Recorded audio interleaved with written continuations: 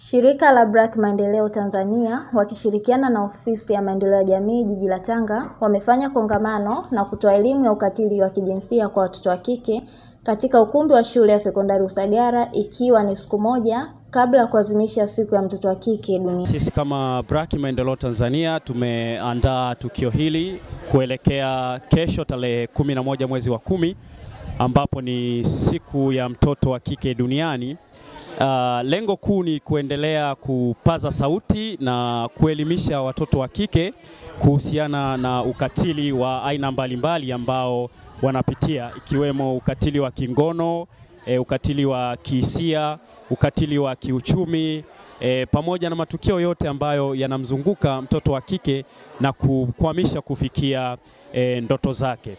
Kwa hiyo tumeandaa hili tukio na kuja hapa shule ya sekondari Usagara hapa Tanga, na kesho tutakuwa tunaazimisha rasmi katika viwanja vya urithi ambapo tutakuwa na watoto wa kike kutoka shule mbalimbali pamoja na mtaani zaidi ya elfu moja. Tutakuwa pale tukielimisha umma wa Watanzania kushikamana pamoja ili kuweza kumlinda mtoto wa kike aweze kufikia ndoto zake hasa kupitia Kwa upande wake mratibu wa dawati la maendeleo ya mtoto jijini Tanga, Mwajuma Mustafa, ametoa wito kwa jamii kupunguza ukatili unaofanywa kwa mtoto wa kike na kutoa malalamiko katika mamlaka husika ili kudhibiti ukatili katika jamii. Katika kuelekea maadhimisho halisi ya kesho, tunatoa wito sisi kama serikali na ya hususani jiji la Tanga na mkoa wa Tanga, kwa sababu tumekuwa tukiona masuala ya ukatili wa kijinsia hususan kwa mabinti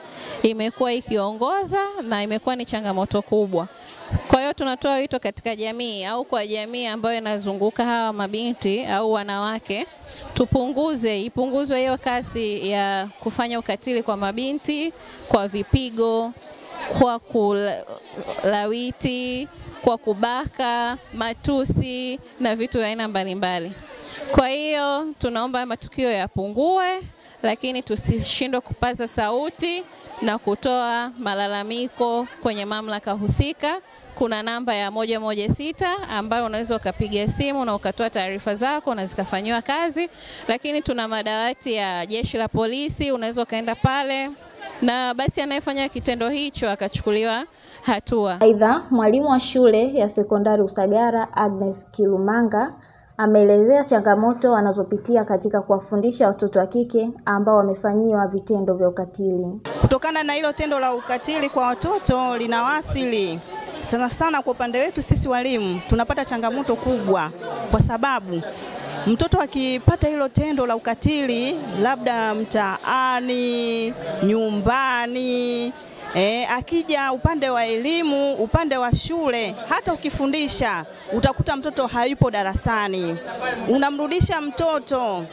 Kuna shida gani? Wakati mwingine mtoto anaogopa kuambia mwalimu ukweli.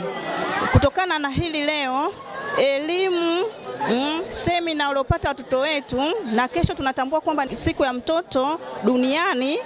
Watoto naona kidogo hiyo semina au elimu walioipata, wamepata fundisho zuri ambalo wataonesha mabadiliko mbalimbali. Nadhani hata kiwango cha elimu sana sana kwa watoto wa kike kitapanda.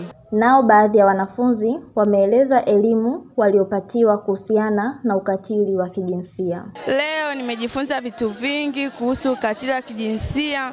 Natumai wenzangu pia amejifunza na nitafanyia kazi kwa nilivyovipata.